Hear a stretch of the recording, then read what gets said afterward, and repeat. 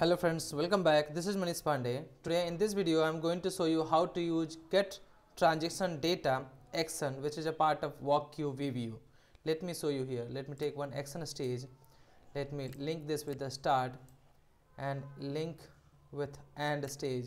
Let me take one and stage here and I'm going to show you how to use that. So double click on that and select walk Work Queue, select get transaction data. So get transaction data is used to get transactions count from the specific queue. So here in the inputs whatever queue names will will enter here that will be excluded from this report. So let's say we have two queues available. So if you want to get the count all the tran uh, transactions from one queue that is Centrix data solutions. So do one thing you can enter here you can enter here q1 so what will happen? This q1 will be excluded from that that report from that count. So it will just take from Centrix data solutions. So it will exclude q names whatever you will enter here. So the collection of q names will be excluded from here.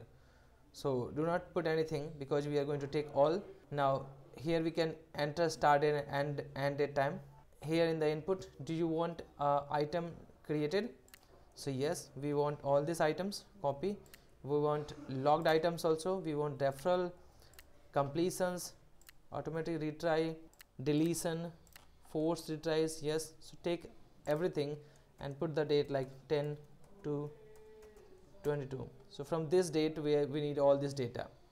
Now go to output and it will give you which queue name which queue included to get the transaction data. So you can create a collection which will give you the co collection of uh, queues now it will give you a count of created items like how many items uh, we have for created how many like new items pending like that how many items which is logged. So it will so here you will just get a count. You can see here it will give you that just count. Uh, so this is numbers logged counts created count here deferred count completed count all these things you can get total count of the items. So this is used for the getting the transaction data. Now click ok. Now we have three to four data items that we are going to use. Now right click set next stage and now just run that. Okay so here we are getting error. That is the currently installed license doesn't support queue transactions.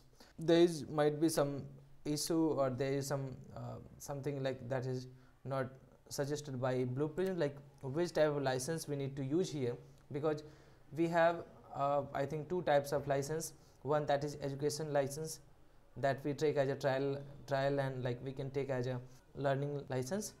Second we have enterprise license. I have used in both the license and I always get this type of issue. So I'm not sure like how to fix that. So if you know that how to fix that so please let me know in the video comment so that I can try to work on that or I can try to fix this issue in the next video. Thank you so much for watching this video. Thanks.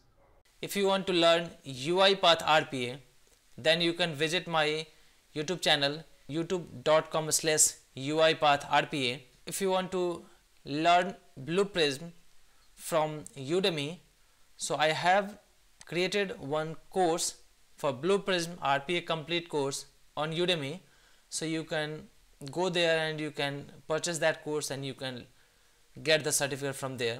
I will enter the the referral code and the link in the video description. You can go through that. I hope you like that one. Thank you so much for watching this video